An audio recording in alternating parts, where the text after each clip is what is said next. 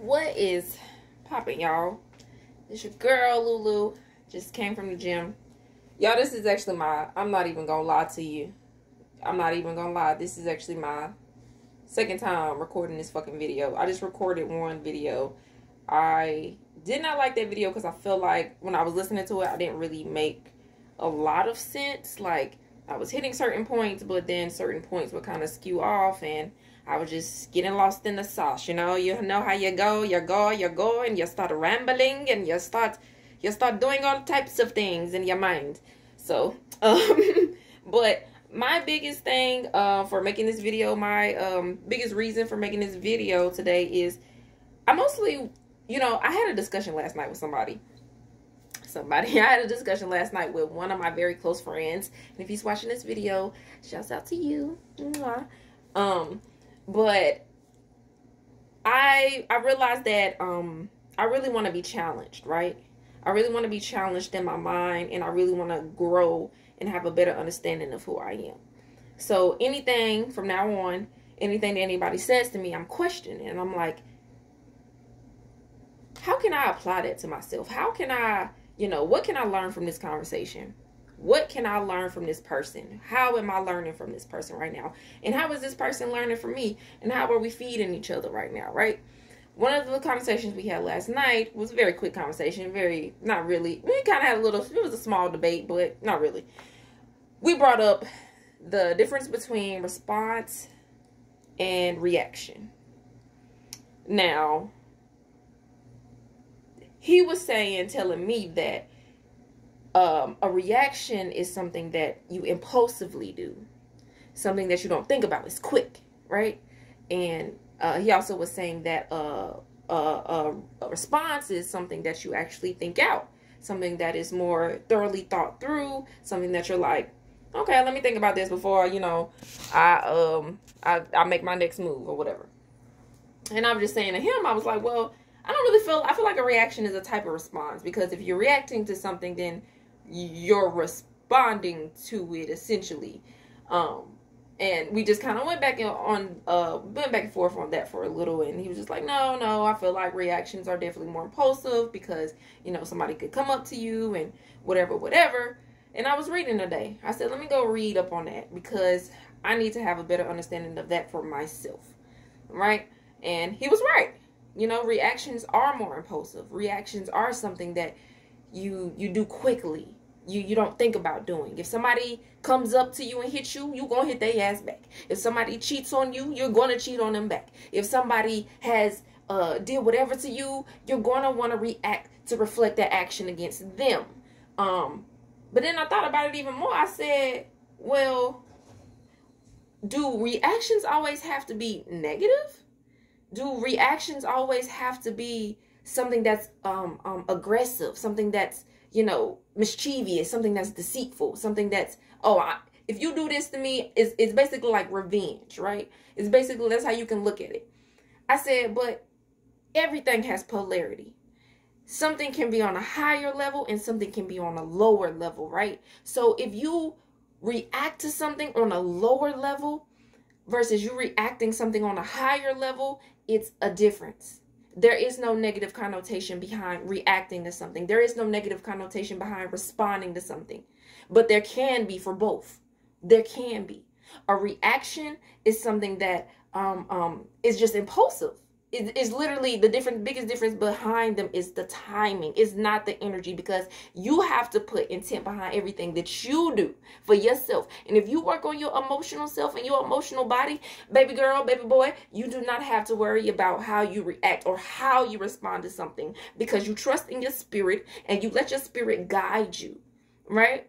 So let me ask you this because a response definitely i mean excuse me a reaction definitely can be something that is positive, right? I'm gonna give you an example. Your man come in, your girlfriend come in, sexy, looking good from work or from wherever the fuck they came from, and they like, "Oh, baby, what's up?" Mwah. Kiss you on your kiss you on your dick, your face, whatever whatever place you like to be kissed. Are you going to react to it? Are you going to respond to it? Most likely because you know them and you know that you love them, you're going to have a quick reaction. Your quick reaction is what's good What's good, baby? Take this to the bedroom. Take this to the bedroom. That's where we going. Your response could be, did they just kiss me? Um, do I want to kiss him back? Do I want to fuck right now?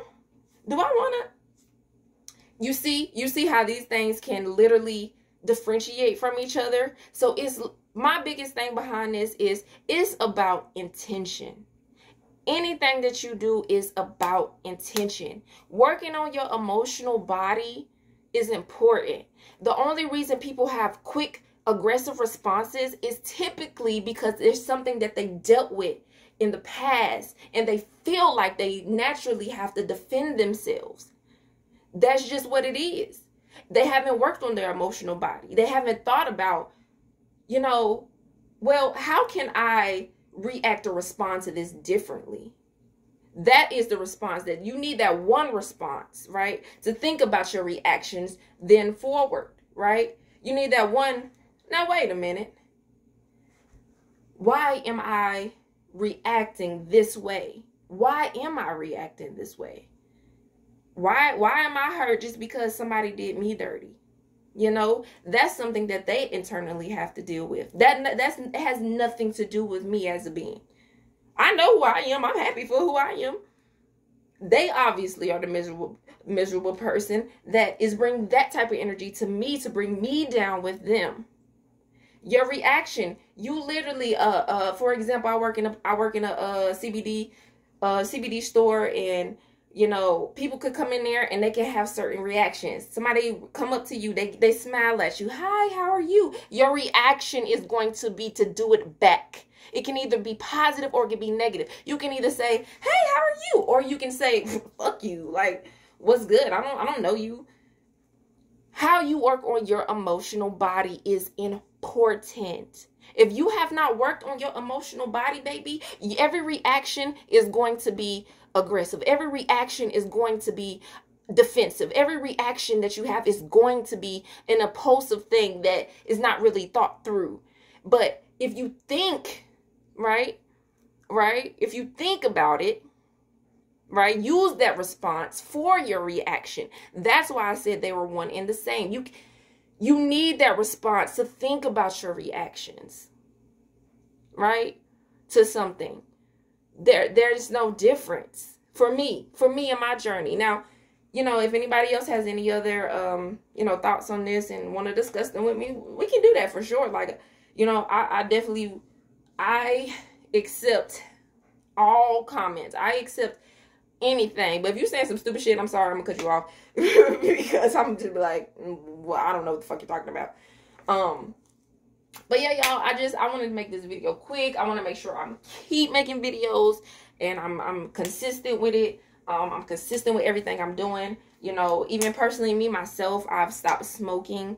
Um and i'm saying this on youtube because i i need uh, accountability everything you know what i'm saying I need, I need to be held accountable for my actions because i've been doing a lot of different things for so long and i'm trying to you know initiate and put new habits in my life and I told myself I don't want to identify with being the girl who I was when I was a teenager in the in my 20s. I I'm moving on. I'm about to be 30 in 2023 y'all. So I want to make sure that I am you know, I'm doing what I'm saying. I don't want to just say, "Oh, I'm an occultist and I'm spiritual and I, you know, you know, you know." I don't want to be that girl. I don't want to say, you know, I'm an occultist and I'm spiritual and I I love I love crystal rocks and uh, oh, oh like you know like that's not who I am you feel me like I'm that I'm that person that I, I need I feed off of the knowledge I need to be able to have an understanding deeper because that's what spirituality is true spirituality has to do with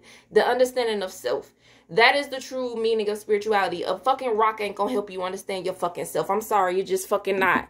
It's not. It's not. And that's just the that's that's some real shit. It's not gonna help you understand yourself. You have to go beyond that. You have to go deeper than a fucking rock.